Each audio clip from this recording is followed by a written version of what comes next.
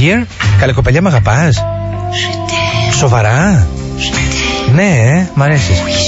Καλά, σκύψε τώρα. Μια γυναίκα θέλει να βάλει πλυντήριο, αλλά δεν σε έχει τελειώσει το απορριπαντικό. Πλυντήριο, δεν πλένει καλά και βγάζει στίγματα. Ε, μου χρυσή μου, λεφτά έχετε πάρτε Συγγνώμη.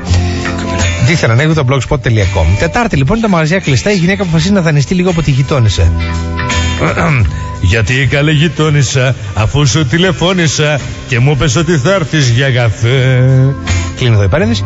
Όντως λοιπόν δανείζεται μια κούπα απορριπαντικό από τη γειτόνισσα, βάζει πλυντήριο. τα ρούχα στεγνώνουν, τα σιδερώνει, τα βάζει στη θέση της και η οικογένεια τα φοράει τα ρούχα. Την άλλη μέρα το πρωί όμως όλη η οικογένεια ξυπνάει σε έξαλλη κατάσταση. Όλοι μα όλοι, δηλαδή άντρας, γυναίκα, παιδιά και τα τέσσερα παιδιά που είχαν, έχουν βγάλει ένα τρίτο μάτι. Δηλαδή εκεί που είναι τα μάτια, σαν τον κύκλοπα από πάνω στο μέτωπο έχουν και ένα μάτι ακόμα. Μάστε καλά, καινούργιο. Χωρίς δεύτερη κουβέντα τα μαζεύουν, έχουν πάθει πλάκα οι άνθρωποι. Γιατί τώρα δεν είναι και λίγο να ξυπνήσεις να έχεις βγάλει τρίτο μάτι, ας πούμε. Και πάνε στο γιατρό. Γιατρέ, λέει ο πατέρας, γιατρέ, βγάλαμε τρίτο μάτι. Mm, πολύ παράξενο ο γιατρός. Και οι τέσσερις μαζί ήταν άντρε, γυναίκα, δύο παιδιά. Και οι τέσσερις ταυτόχρονα, ε. δεν μου λες, λέει τη γυναίκα ο γιατρός, δεν μου λες, παιδί μου, μήπως αλλάξατε απορριπαντικό; Λέει η γυναίκα, ναι.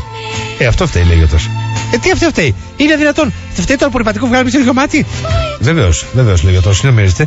Για θυμηθείτε σας παρακαλώ, τι μάρκα ήταν το απορριπαντικό που βάλατε; Πρωτού σας πω τι απάντησε η γυναίκα, θα σας πω την πρώτη μας ώρα ήταν μια προσφορά του εξπλωσίβο στον πεζόδρομο της Καλαμαριάς.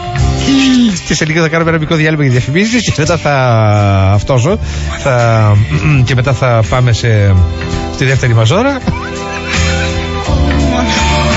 Λέει λοιπόν ο γιατρός, για θυμηθείτε σας παρακαλώ, τι μάρκα ήταν; Λέει γυναίκα, ε, νεομάτι.